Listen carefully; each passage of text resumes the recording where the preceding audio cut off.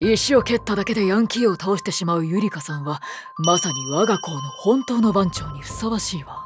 私はゆりかさんが番長になるまで頼むのをやめない。どうか私の代わりに番長になって。わ私？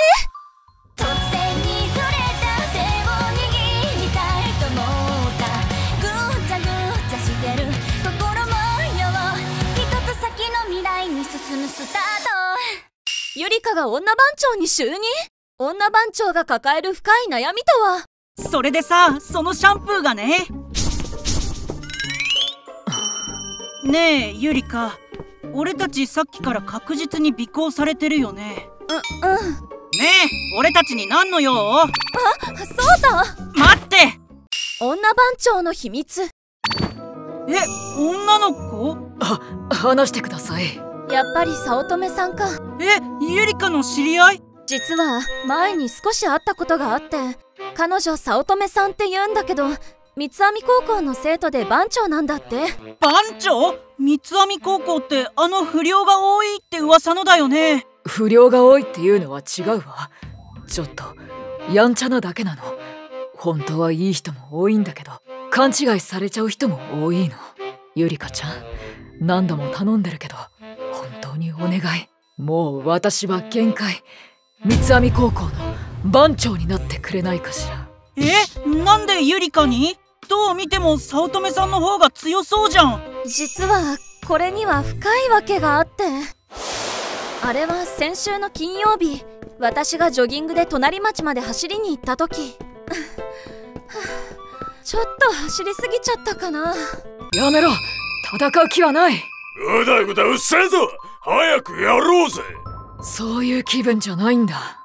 私は日課の廃工場にできたツバメの巣に餌を持っていくところだったわ。それなのにライバル校のボスに囲まれて。そうはいかねえ。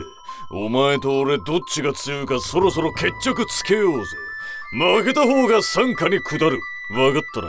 私はそんなことしたくないんだ。そうはいかねえんだ。喧嘩だ。け警察に伝えないと。なんだボスあそこ。何見てんだ？ごめんなさい。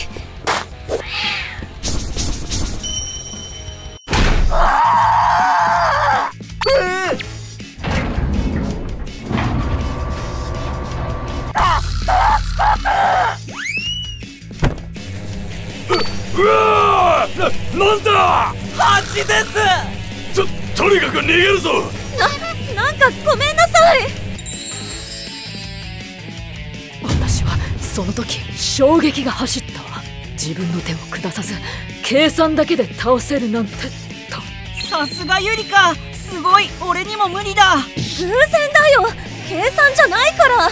いいえ偶然じゃなければ神に愛されている証拠。石を蹴っただけでヤンキーを倒してしまうゆりかさんはまさに我が校の本当の番長にふさわしいわ。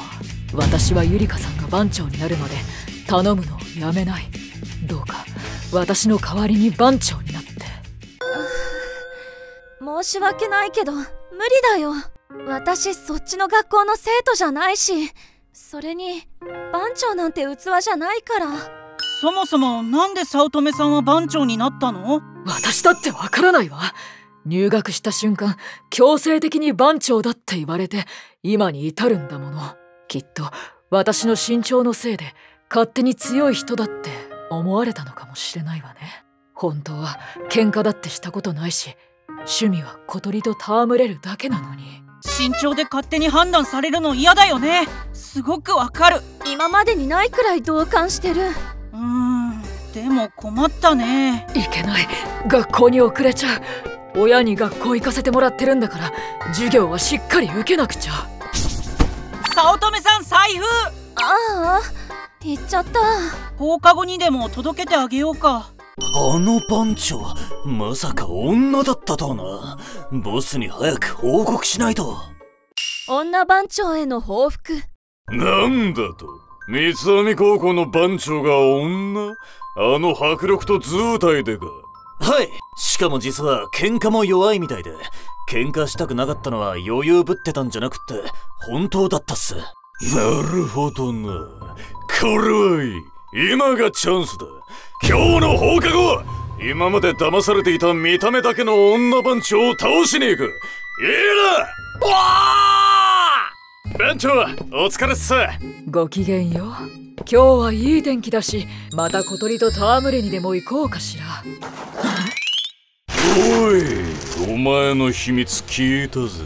タイマンハローちょっと来い。じゃやめてください。お前女らしいな。もうバレてるぜ。何？早くその面見せてみろよ。これで本当に女か？どう考えてもゴリラだろ何やってんだ？なあ。獅子原くんゆりかさん。なんでここが？今日の朝財布落としてたよ。それで放課後届けに行こうってことになってちょうど連れて行かれるところを見たの。邪魔してんじゃねえぜ！早乙女さんは危ないからこっちに。ゆりかさんまたあの計算され尽くされた攻撃でこのヤンキーをやっつけて番長の力を今ここで。あんなのもうできないから。それに私は出る幕じゃないもん。ほら。おら。おら。おら。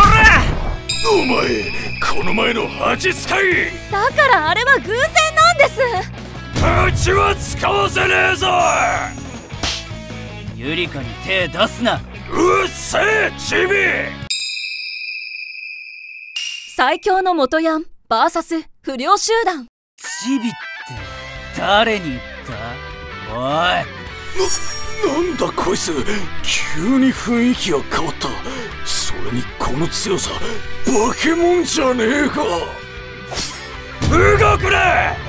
動くとこいつの顔に傷がつくぞ！早乙女さん！獅子原くん俺はこいつと対マンがしたいだけだ。部外者は引っ込んでる。今日だぞ！怠慢なら武器はなしだろ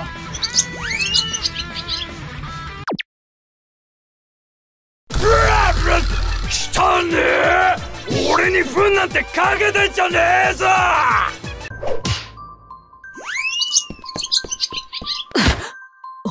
なれ。よくもよくも。な、なんだなんだ？小鳥さんをいじめないで。早乙女さん大丈夫？ええ私は何ともそれより小鳥さんがすぐに病院に連れて行こう。獅子原くんゆりかさんありがとえ何が？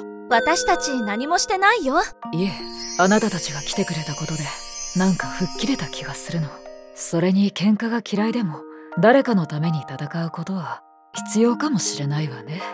私は私なりの優しい番長を目指してみるから。ありがとね。ゆりかも番長にならなくてよかったねこうして早乙女さんは三つ編み高校の番長として後に君臨することになったのでした。しかしそれはまた別のお話。今日の動画はどうでしたかタクタくん？いや俺に聞くなよ。そんなことよりこの動画のオープニング曲を紹介するぞ。タクタくんチャンネル登録するのです。いやだから俺に言うなよ。チャンネル登録よろしくなのです